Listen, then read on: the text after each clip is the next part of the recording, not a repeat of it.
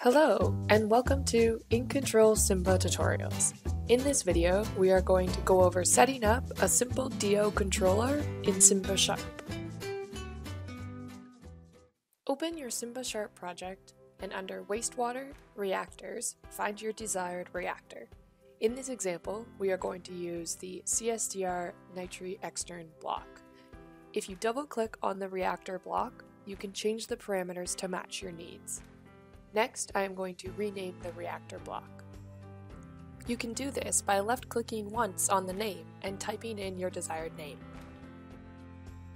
We are now going to input all the blocks necessary to set up a simple DO controller in Simba Sharp. First, we are going to find a SO2 measurement block under Global Measuring. Next, we need to go into the ICA and Signal group.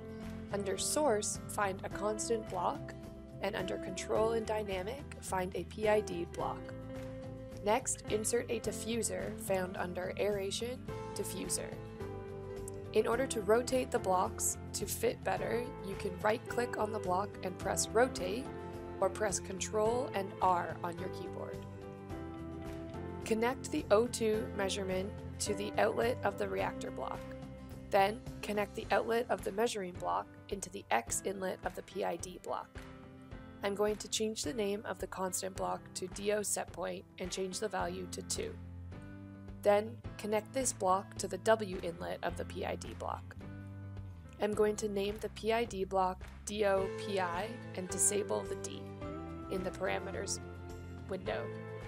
I'm going to set the controller gain to 15 times the volume of the aeration tank. You can create equations in the parameters window using an asterisk for multiplication and a slash to divide. I've set the integral time to 10 minutes by dividing 10 by 24 times 60, all in brackets. As well, I'm going to change the controller bounds to 0 and the upper bound to 1 million. Next, I am changing the name and number of diffusers to 1500.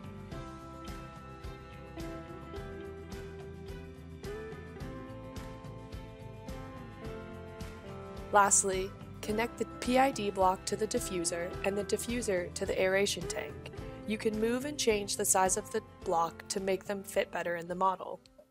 Thank you for listening to this In Control Simba Sharp tutorial.